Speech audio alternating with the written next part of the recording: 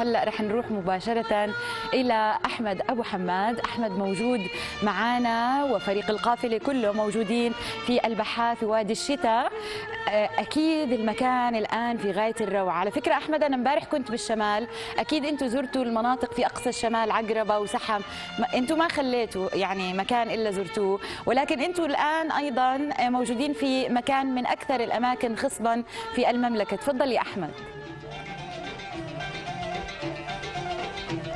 صباح الخير سمر. صباح الخير مجحم صباح الخير لكل فريق برنامج يوم جديد لكل متابعينا ومتابعين شاشة التلفزيون الأردني مستمرين معكم في قافلة برنامج يوم جديد قافلة المحبة هاي القافلة اللي جابت جميع محافظات المملكة. طبعا سمر مثل ما حكيتي إحنا من خلال قافلة برنامج يوم جديد لفينا جميع محافظات المملكة وتعرفنا أكثر على سحر وجمال بلادنا الحبيبة. اليوم حبينا نصب عليكم على الهواء مباشرة من لواء وادي السير اللي بقع على بعد 11 كيلو متر غرب محافظة العاصم عمان يبلغ عدد سكان هذا اللواء 367 ألف نسمة بتمتاز هذه المنطقة بسحر وجمال طبيعتها الخلابة بجبالها وتلالها الخضراء الممتدة وأيضا بتمتاز بأرض زراعية خصبة تربة حمراء مناخ فريد تنوع في التضاريس وكثرة عيون وينابيع المياه الجوفية تشتهر بزراعة التين والزيتون والرمان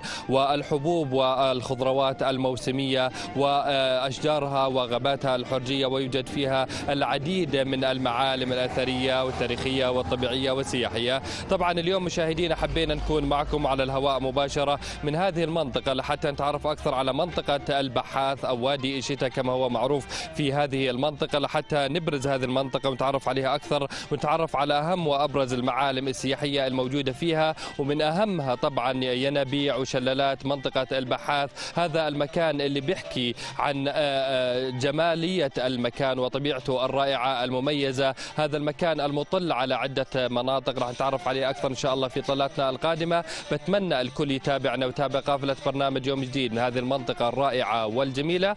صباحكم سعيد.